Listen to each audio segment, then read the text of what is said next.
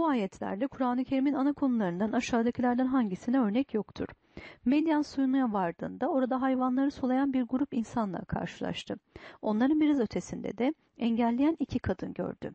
Onlara meseleniz nedir diye sordu. Çobanlar sulayıp çekilmeden biz hayvanlarımızı sulayamayız. Babam çok yaşlıdır dediler. Musa onlara yardım etti ve hayvanlarına su içirdi. Kasas suresi 23. ayet. Her secde ettiğinizde yüzlerinizi ona çevirin ve dini yalnız ona has kılarak ona yalvarın. Araf suresi 29. ayet. De ki o Allah birdir, Allah samettir, her şeye ona muhtaçtır, o hiçbir şeye muhtaç değildir.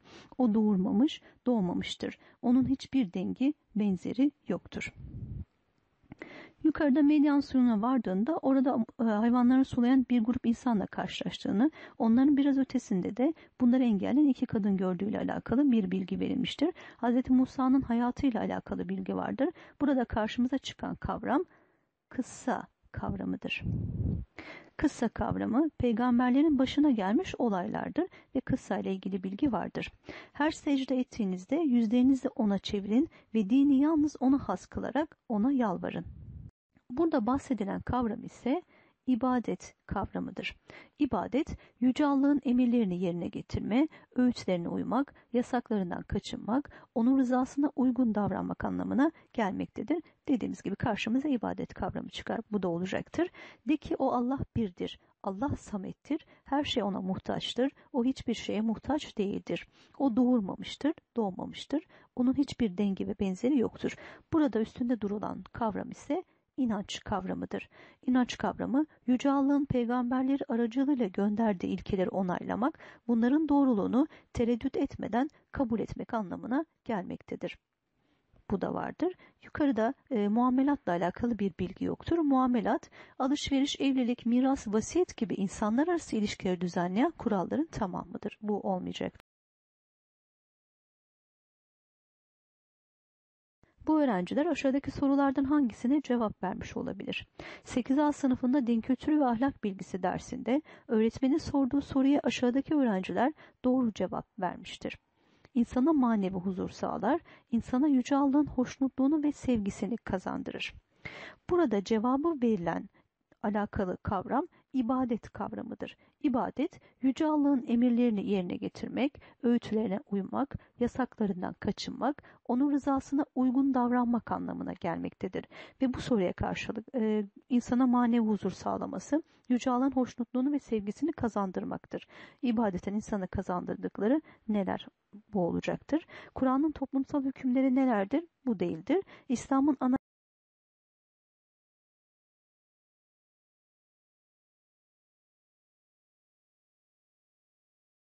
Bu ayetler Kur'an-ı Kerim'in üzerinde durduğu aşağıdaki konulardan hangisiyle ilişkilendirilebilir? Ey iman edenler!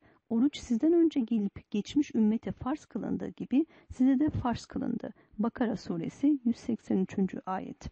Namazı kılın, zekatı hakkıyla verin, rükû edenlerle beraber rükû edin. Bakara suresi 43. ayet. Namaz müminler üzerine vakitleri belli bir farzdır. Nisa suresi 103. ayet.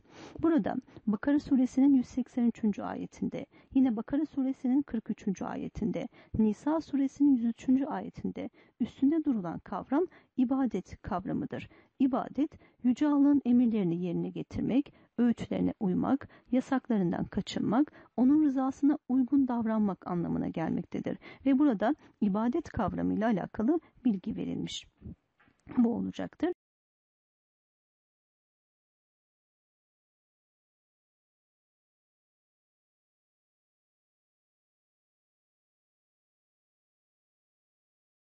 Bu ayetler Kur'an-ı Kerim'in değindiği aşağıdaki ana konulardan hangisine örnek oluşturur?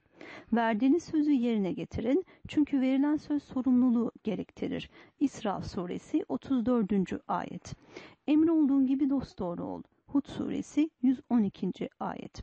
Güzel bir söz ve bağışlama peşinden incitme gelen sadakadan daha iyidir. Bakara suresi 260. ayet.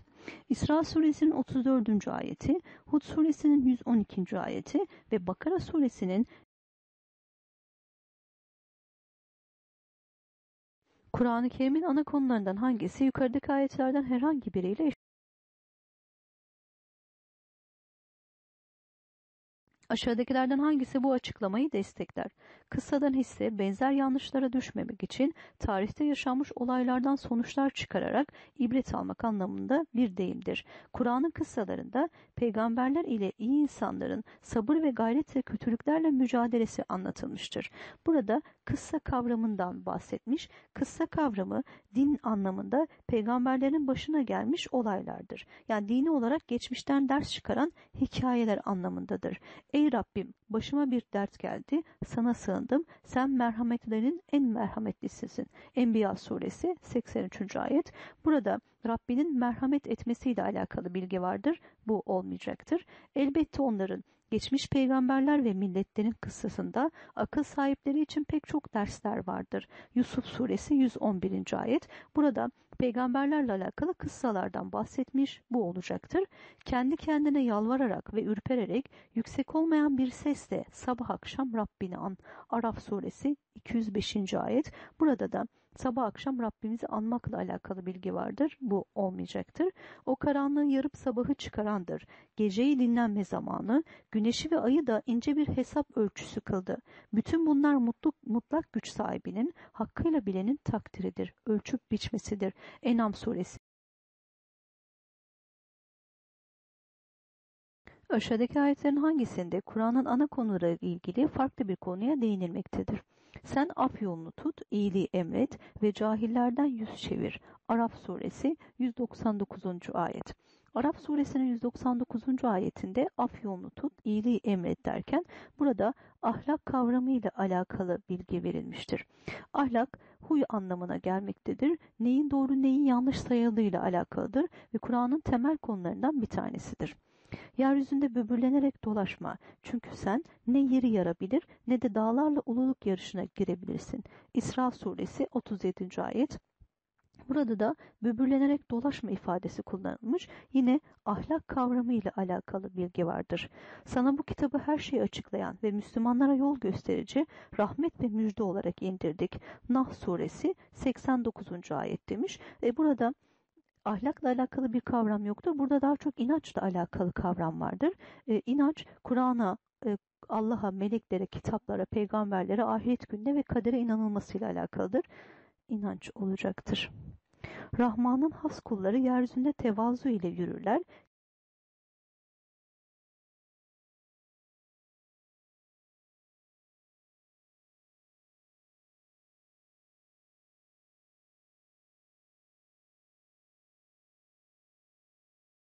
Bu ayetlerden hangilerine ulaşılabilir? İnsanlara kendilerine indirileni açıklaman ve onların da üzerlerinde düşünmeleri için sana bu Kur'an'ı indirdik. Nah suresi 44. ayet. Andolsun Allah'ın Resulüne de sizin için Allah'a ve ahiret gününe kavuşmayı uman, Allah'ı çok zikreden kimseler için güzel bir örnek vardır. Ahzab suresi 21. ayet. Peygamberimizin en güzel örnek olduğu Allah'ın Resulüne sizin için Allah'a ve ahiret güne kavuşmayı uman çok güzel bir örnek vardır demiş. Yani burada peygamberimizin en güzel örnek olduğu ile alakalı bilgi vardır.